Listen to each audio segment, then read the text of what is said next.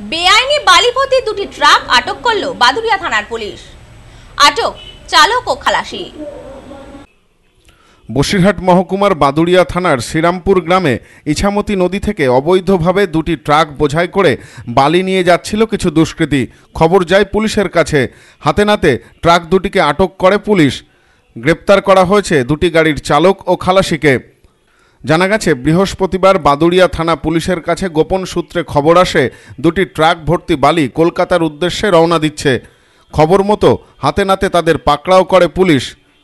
ধৃত চারজনকেই বসিরহাট মহকুমা আদালতে তোলা হয়েছে। স্থানীয় সূত্রে খবর, বাদুড়িয়া থানার সামনে থেকে দিনে রাতে শয়ে শয়ে গাড়ি বালি নিয়ে যাচ্ছে। রাস্তা দিয়ে মানুষ হেঁটে যেতে পারে না। Bureau report, news no man's land, Baduria.